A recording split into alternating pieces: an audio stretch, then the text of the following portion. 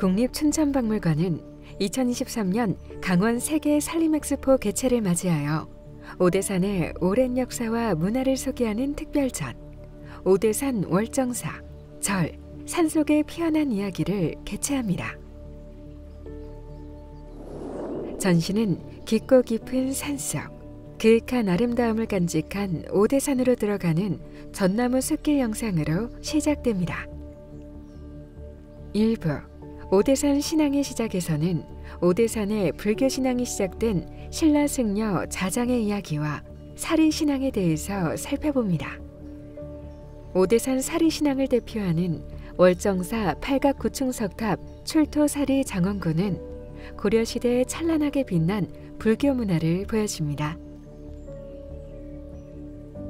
2부 부처와 보살, 산에 머물다는 삼봉우리 위에 올라 신앙의 정점을 만나는 공간입니다. 오대산은 문수보살의 성지로 여겨졌고 조선 왕실에서는 월정사 상원사를 비롯한 오대산 사찰과 암자를 후원했습니다. 상원사 목조 문수 동자자상 안에서 나온 적삼은 동자의 모습으로 나타나 조선 세조의 피부병을 치료한 문수보살 전설을 떠올리게 합니다.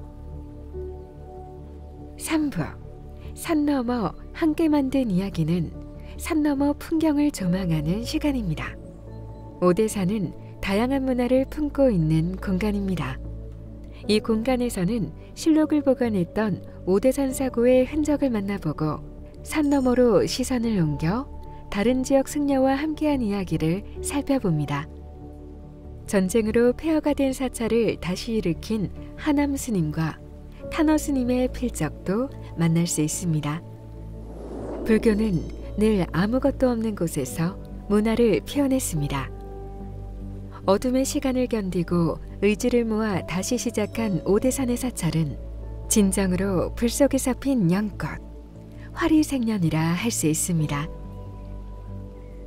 이번 전시에서는 오대산의 자연과 문화를 담은 16K 초고화질 실감 영상 이야기숲 오대산을 거닐다를 통해 오대산 문화유산과 전시에 대한 몰입을 높일 수 있습니다. 안녕하세요. 국립춘천박물관 유수란 학예연구사입니다. 오대산의 역사와 문화, 신앙과 신화를 살펴볼 수 있는 특별전 오대산 월정사 전시를 보러 많이들 찾아와 주시길 바랍니다. 감사합니다.